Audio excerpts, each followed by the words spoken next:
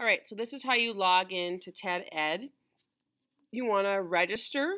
So you search, if you look up top here, go to https colon backslash backslash ed ted com or just search TED Ed and you want to register.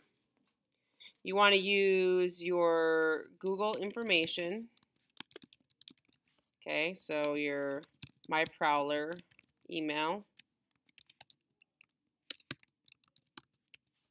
Um, make sure it's a password that you are going to remember. Okay. And then you got to make sure you're human. They'll ask you that. New H 16 dash 14. Yours will probably be different. And press create your account. So I have to go check my email. So you'll have to go back to your inbox. Okay. It might show up somewhere else. So you got to verify your email address. So you go to your email, you click on the link.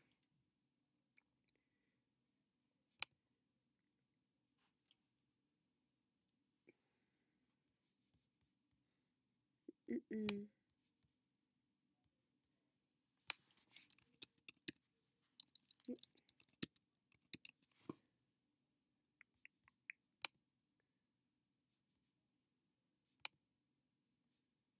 Um, so then you log in. Hold on. We gotta go back here.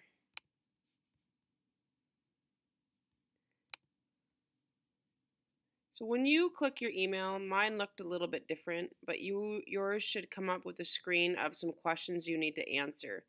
You'll need to um, click that you're a student, and click Science and Technology, and then you'll have to click off a box that says, Do you want email updates?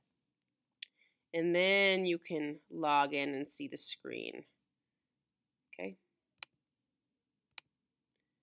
And then you'll be able to up here, see where it says, Hi, Erika.